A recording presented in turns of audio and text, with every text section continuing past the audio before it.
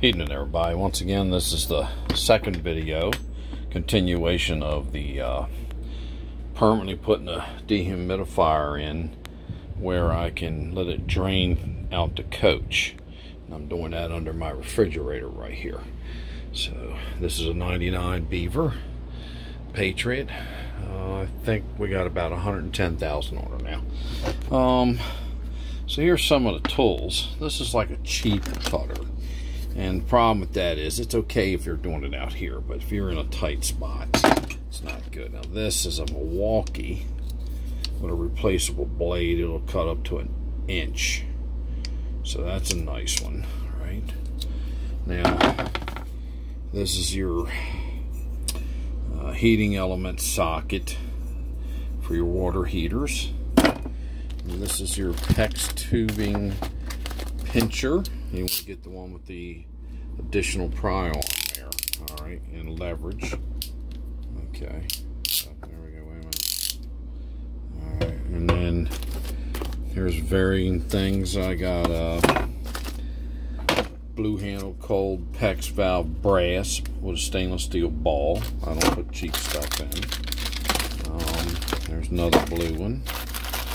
Here's uh another blue one and a blue one. Here's a brass T. Anytime I do a job, like these are half inch. I got three quarter in there too, but mainly half inch is your hot and cold lines. So there's, I'm gonna put that in. And then I also have some 90 degree elbows, which I'm gonna use. So I'm gonna cut a little piece, put it like this, put this in the actual drain tube that's already there for the um, condensation drip right back here. This. So this gets hooked up back here, right in there. And it goes down to my outside where I showed you underneath on the first video. Um, I have this off. It's rare that I have it off, but it is. Um, so it's like 90 degrees outside. I got my AC running, so I don't have to kill myself in here. Now this is a cutter, which is, this is kind of semi-worthless, but it, it's alright, you know what I mean? And I just kind of show you another way. And I keep this, this is an adjustable snap on, but it's very good. It adjusts and it also grabs pretty good. Now, here's your uh,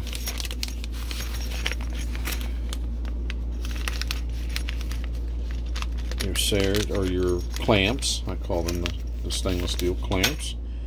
And then I have this little cutter every now and because I'm doing copper work. And then that goes to this, which I use on other stuff. There you go. It's supposed to go in there. There you go. It was supposed to go in there.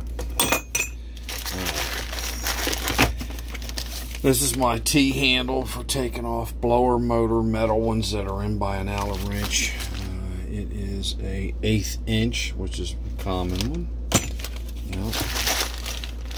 And here's my yellow uh, plumber's tape for gas.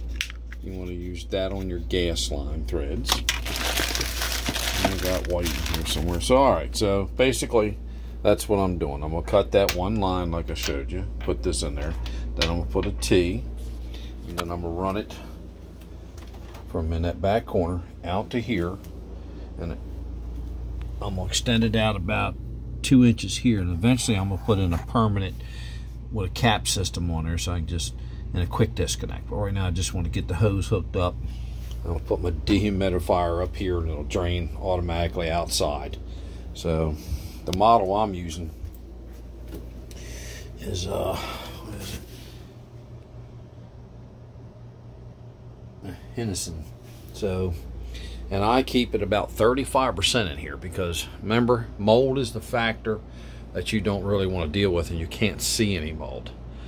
Uh, I did have a very very small leak. I made a video of that on my um, shower back here. And I redid all that. I made all that wood myself and cut it and varnished it and everything like that. So, all right, let's get busy. I'm gonna try to make a video of it while I'm doing it. I'm gonna put you on pause.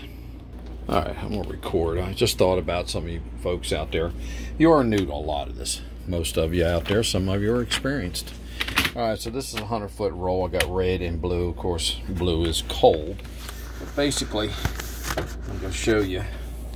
Put, put it on pause again.